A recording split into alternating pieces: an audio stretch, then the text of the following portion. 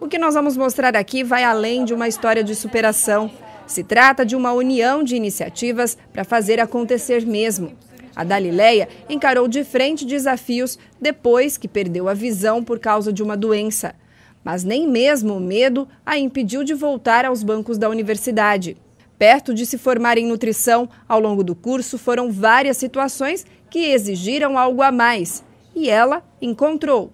Esse aqui é a Mônica, né, coordenadora do curso, ela que trouxe para mim, acho que ela achou em São Paulo, não é em braille, mas ele tem as referências né, em centímetros e as dezenas.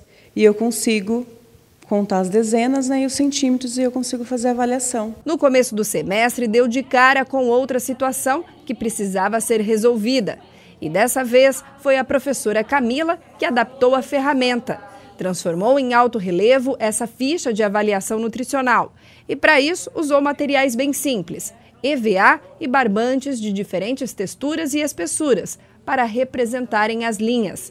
E nela, uma mão ajuda a outra a sentir o que os dados dizem. Antes da gente iniciar a orientação de estágio com os alunos, eu fiz uma aula relembrando os conceitos principais que eles iriam utilizar durante o estágio e apresentando os gráficos para eles, a Dalileia me surpreendeu com uma pergunta, né?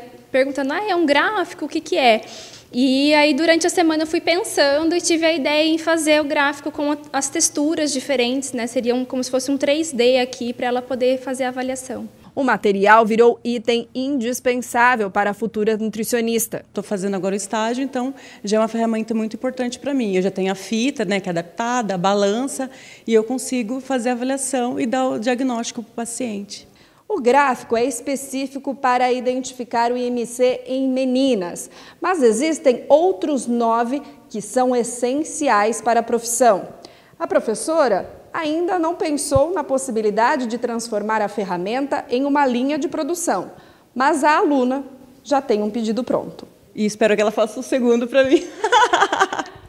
e a proposta que surgiu por aqui pode ganhar uma escala ainda mais, já que a demanda certamente vai existir pode ser pensado em elaborar né, um projeto, duplicar né, essa, essa ideia que eu tive e levar para outras pessoas.